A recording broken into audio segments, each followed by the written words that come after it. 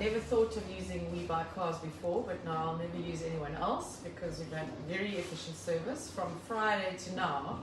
The deal is done, the money's in my account, and I'm a very happy customer.